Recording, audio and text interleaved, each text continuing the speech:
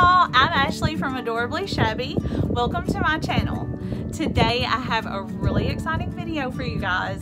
Um, I'm going to show you guys some DIY items that you guys can make for very little money.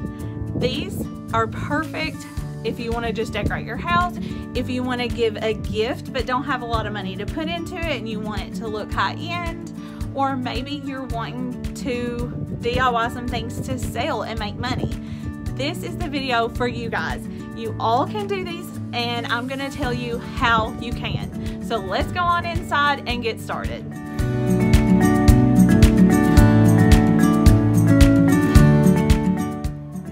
So this first DIY is really a great one because it really has a lot of value. It only cost me $5 for the actual doormat. I got mine at Walmart and I've seen them in other places too. I've also bought them at Target. You just have to kind of shop around. And then I used just this exterior paint that I got from Walmart and I freehanded the name with a Sharpie. But you do not have to freehand. If you have, uh, you know, a Cricut or a silhouette, you could use a, a stencil or you could buy a stencil. You can also buy personalized stencils on Etsy. So that's another option. Um, just you know, be aware when you do that, that's going to cut into your profit a little bit if you're aiming on selling these. So, anyways, I think that this is a really great DIY, especially for gifts and for selling, because you can really make a lot of money on these, and people go crazy for these because you don't see them everywhere.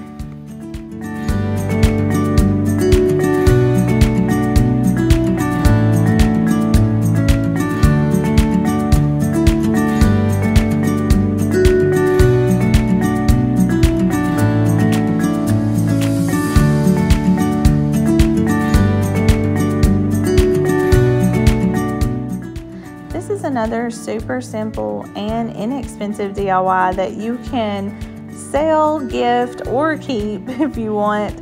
Um, I've actually done all three with this, so I can say firsthand that this is the perfect DIY project.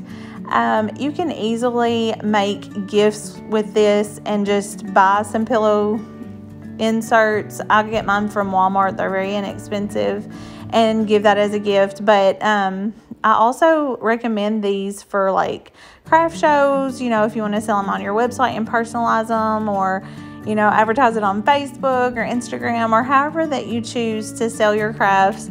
These really sell well. So I do recommend these.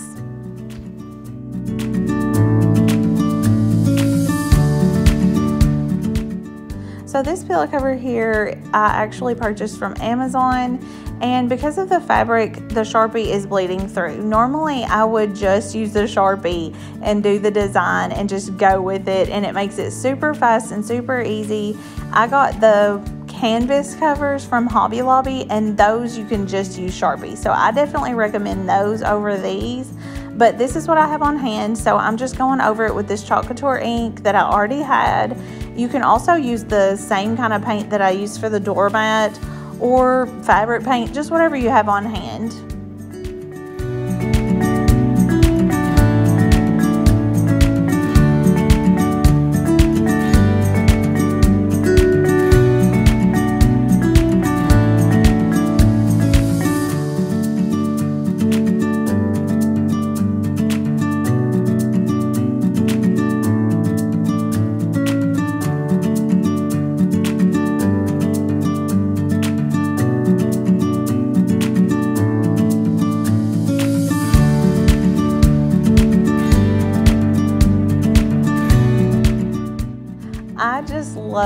Project. I buy these little wooden canvas boards from Amazon and you can get them in like a big pack or you can buy them at Walmart as well. But they're very inexpensive. And you can paint them, you can stain them, you know, just whatever you want to do to get creative. But these, I decided I'm gonna just stain this and I'm making this adorable tray and let's face it, masks are probably here to stay for a while. So I figured this is a great idea and I think people are going to really like it. So, who doesn't want a place to put their keys, their wallet, their change, their mask? You know, when they walk in the door, when you leave, then you just pick it back up and you know exactly where you left it. But these are very inexpensive. The only thing about these is just wait time between, you know, drying and um, the things that you have to do, like gluing things on and staining, you know, that takes time to dry. So that's the only thing. You have to be a little bit patient. So you may want to, you know, put the stain on or the paint on and then go do another project and come back to it. Um, another thing that I did not show here is after the stain dried in the tray, I did go through and put a, like two coats of sealer and I just used spray sealer. So it was super fast. I put a coat on it, I waited for a while, and when it was dry, I put another coat. As you can see here, I did make vinyl words to go on here. I just used my silhouette and um, printed them off and then I'm just to attach them to the inside of the tray. You could also use like a white paint pen if you want to freehand it. Um, you can also go on Etsy and order vinyl decals. You know, just whatever you really enjoy, whatever is going to make you happy, whatever look you're going for is what you need to do. I've done it all the different ways. So I just say, you know, do whatever you want and it's going to turn out really cute.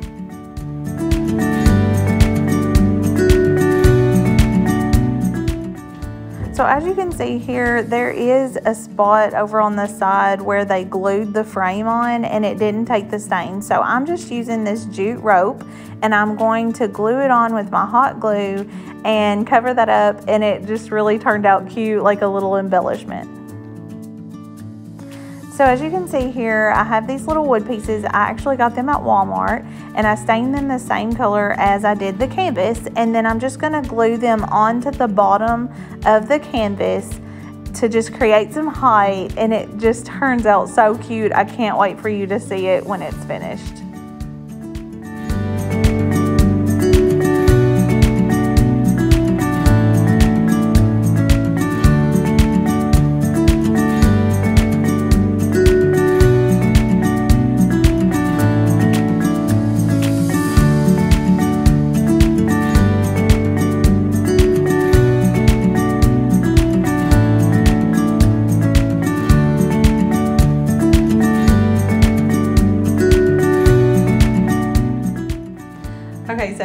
DIY I have actually made for myself, but I have sold these at craft shows and I always sell out of them.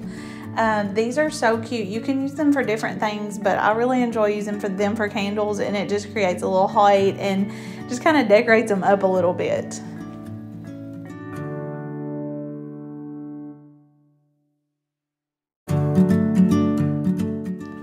As you can see, I'm staining all the pieces. I'm using more of those little wood pieces like I did on the other project, and I'm gonna glue them to the underside of these.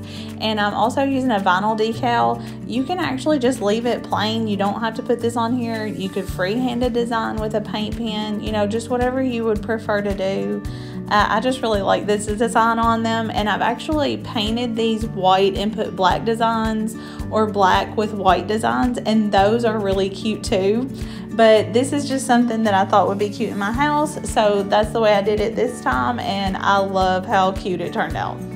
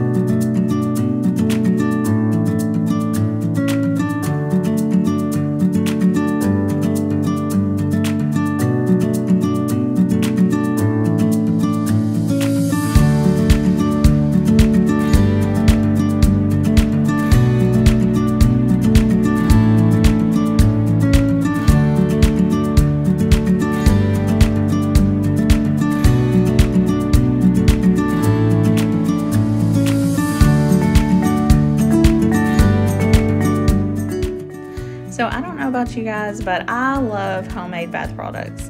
and I like bath bombs. I don't like how messy they are when you open them. So I decided to do just a little pouch of fizzy bath salts and the result is the same. It fizzes, it smells wonderful, and it leaves your skin feeling really soft. So the recipe that I use for this is one and a half cups of Epsom salts, one half cup of baking soda, one third cup of citric acid, and 40 to 50 drops of essential oils of your choice. Right now I'm using the hot chocolate scent and it smells so good. Just make sure you do this slowly so that you don't activate the fizz.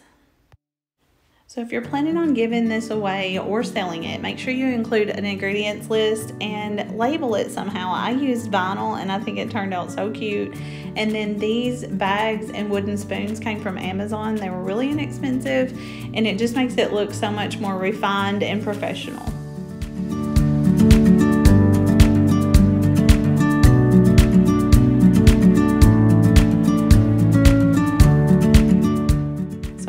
Pour a tiny bit into some water so you can hear this fizzy goodness.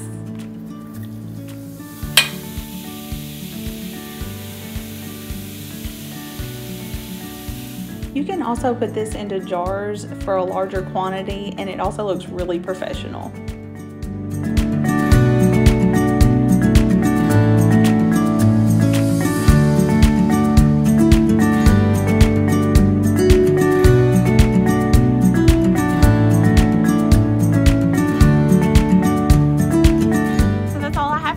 Today. Thank you so much for stopping by. I hope you guys enjoyed this and got some inspiration for some DIYs that you can do, whether you're looking for an inexpensive gift that looks high end or you're wanting a high profit item to make and sell. I hope you got some ideas. Please make sure you subscribe and also like this video. It would help my channel out a lot.